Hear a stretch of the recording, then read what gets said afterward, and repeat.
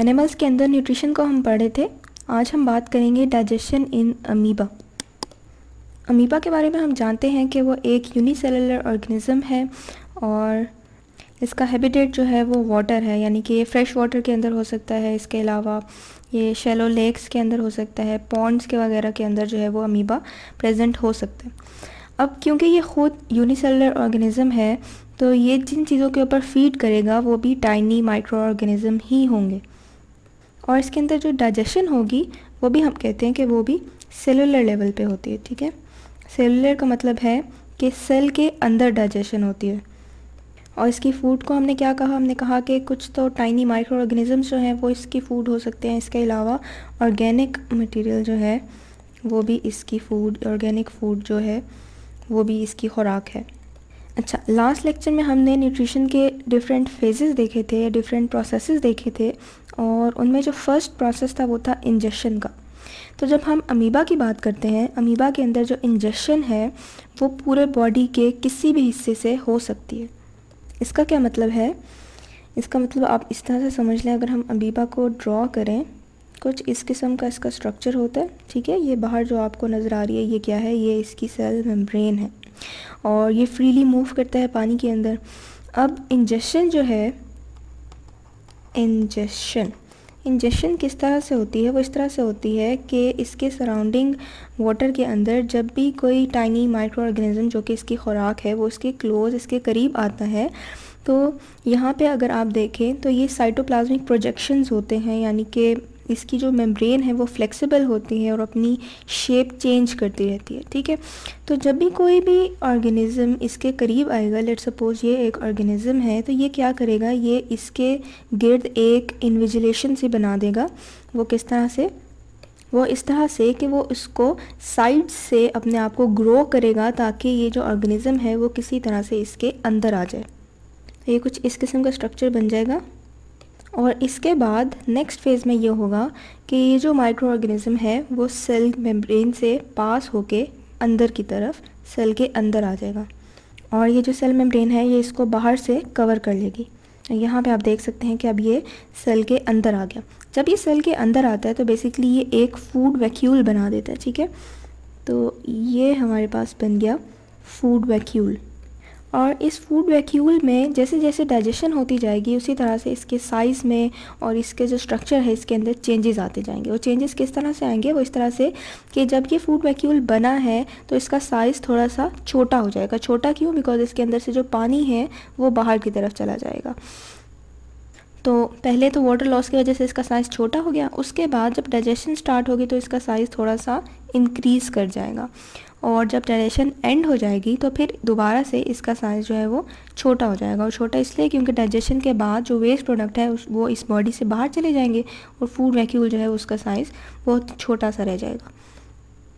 तो ये हमने देख लिया इंजेक्शन को। इसके बाद नेक्स्ट फ़ेज़ जो हमने पढ़ा था न्यूट्रिशन का, वो क्या था? वो था डाइजेशन तो जब हमने देखा कि ये इस बॉडी के अंदर फ़ूड वैक्यूल हमारे पास बन गया। इसके बाद डाइजेशन का जो प्रोसेस है, वो किस तरह से होता है अमीबा में, वो इस तरह से होता है कि अमीबा के अंदर स्पेशल एक ऑर्गेनेली प्रेजेंट है जो कहलाती है लाइजोजोम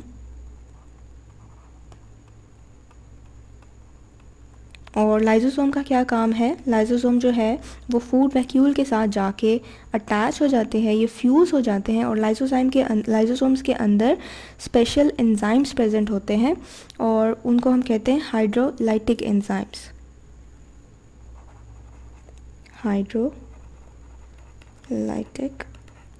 एंजाइम्स और इनका काम क्या है? ये डाइजेशन में हेल्पफुल होते हैं, यानी कि ब्रेक डाउन के अंदर हेल्पफुल होते हैं। तो हमने क्या कहा? हमने कहा कि लेट सपोज़ ये हमारे पास लाइजोसोम्स हैं और लाइजोसोम अटैच हो गए हैं फ़ूड वैक्यूल के साथ और इसके अंदर जो एंजाइम है, अब ये बेसिकली एक ही चीज़ बन जाएगी, ठीक है? अब ये एक ही, आप समझ लें कि एक स्ट्रक्चर बन गया है और इसके अंदर से जो एंजाइम्स रिलीज़ होंगे वो फ़ूड वैक्यूल के अंदर चले जाएँगे और फ़ूड वैक्यूल के अंदर ये जो हम, ये जो फ़ूड थी बेसिकली वो उसको तोड़ने में हेल्पफुल होंगे। यानी कि killing and softening of food जो कि बेसिकली फ़र्स्ट प्रोसेस है डाइजेशन का, वो उसके अंदर इन्वॉल्व होंगे। ये जो किलिंग के लिए जो हमने टर्म यूज़ किया killing and softening of food इसके लिए जो मीडियम दरकार होता है, वो होता है एसिडिक मीडियम एसिडिक मीडियम ठीक है? तो ये जो फ़ूड वैक्यूल है, इसके अंदर ये जो, यहाँ पे जो एंजाइम्स रिलीज़ हुए हैं, उसके मदद से होता यह है कि इसका जो मीडियम है ओवरऑल वो एसिडिक हो जाता है। और कितना एसिडिक तकरीबन इसकी जो इसको अगर हम पीएच रेंज इसकी देखें तो 5.6 पीएच इसकी ज़रूरत होती है। इस एसिडिक मीडियम के अंदर इसकी डाइजेशन होती है, और डाइजेशन के एंड पे इसका जो मीडियम है, वो फिर से चेंज हो जाता है, और ये अल्कलाइन हो जाता है।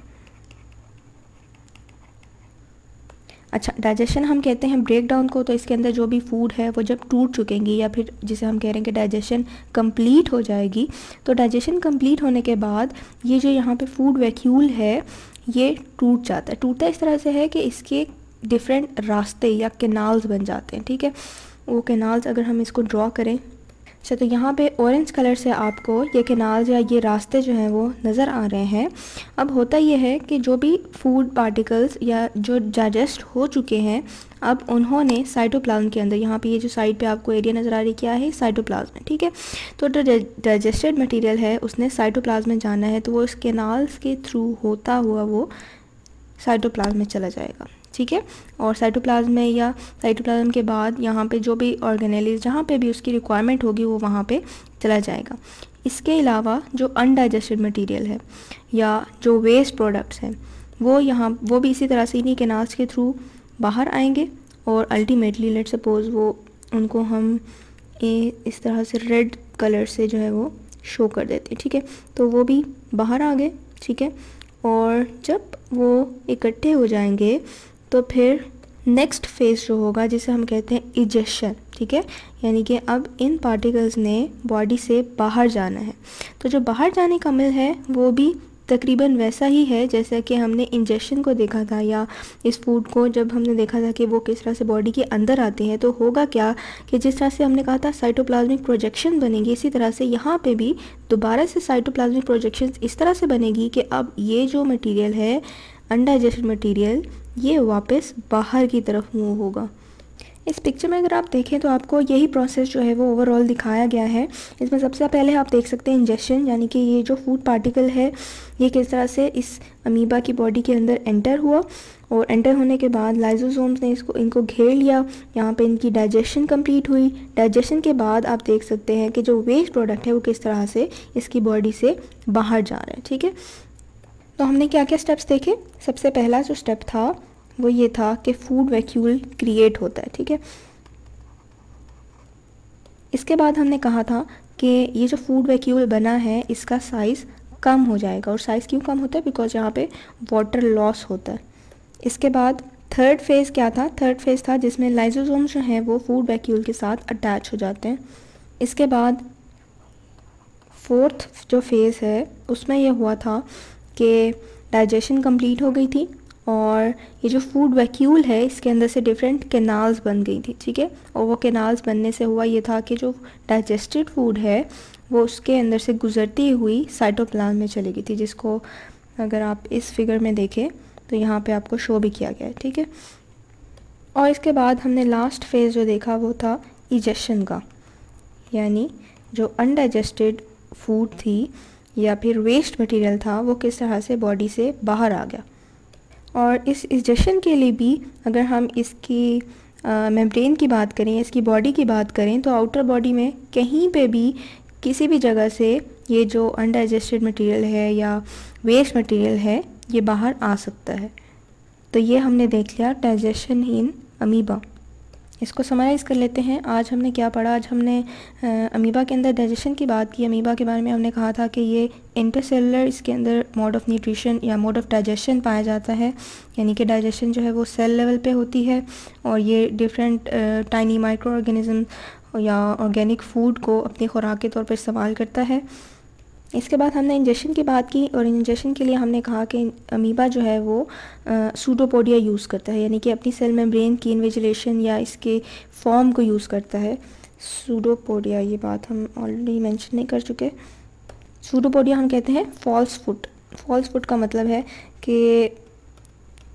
ये कोई ख़ास स्ट्रक्चर नहीं है जो इसकी बॉडी में पाया जाता है, बल्कि जब भी अमीबा ने मूव करना होता है या फिर इंजेक्शन यानी कि किसी भी फ़ूड मटेरियल को अपनी बॉडी के अंदर लेके आना होता है तो इसके अंदर ये जो इसकी जो मेम्ब्रेन है, वो एक फोल्ड फोल्डिंग सी बना लेती है, यानी कि साइटोप्लाज्म जो है, वो अपने आप को एक तरफ़ मूव कर देता है, जिसकी मदद से होता ये है कि कोई भी फ़ूड मटेरियल जो है, वो इसके अंदर इजीली एंटर हो सकता है, या फिर इसके अंदर से इजीली बाहर जा सकता है।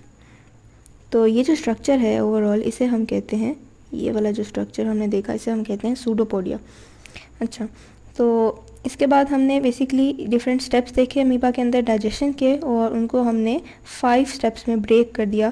सबसे पहले हमने देखा कि जब भी फ़ूड मटेरियल बॉडी के अंदर आता है तो फ़ूड वैक्यूल बन जाता है, और फ़ूड वैक्यूल का साइज़ पहले डिक्रीज़ हो जाता है, उसके बाद इंक्रीज़ होता है ड्यूरिंग डाइजेशन और एंड पे फिर दोबारा से डिक्रीज़ हो जाता है। इसके अलावा हमने एक ऑर्गेनिक लाइजोसोम की बात की जो कि अटैच हो जाता है फ़ूड वैक्यूल के साथ और लाइजोसोम्स के अंदर से हाइड्रोलिटिक एंजाइम्स रिलीज़ होते हैं। वो हाइड्रोलिटिक एंजाइम जो है वो डाइजेशन में या ब्रेक डाउन में हेल्पफुल होते हैं। उसके बाद हमने कहा था कि जब डाइजेशन कंप्लीट हो जाती है तो फ़ूड वैक्यूल्स के अंदर से कैनाल्स या डिफरेंट रास्ते बनते हैं, जिनके अंदर से डाइजेस्टेड फ़ूड जो है वो साइटोप्लान में आ जाती है और अनडाइजेस्टेड फ़ूड भी साइटोप्लान से होती हुई बॉडी से बाहर आ जाती है। और जो बॉडी से बाहर आने का स्टेप है, इसे हमने कहा था इजेशन तो ये था डाइजेशन इन अमीबा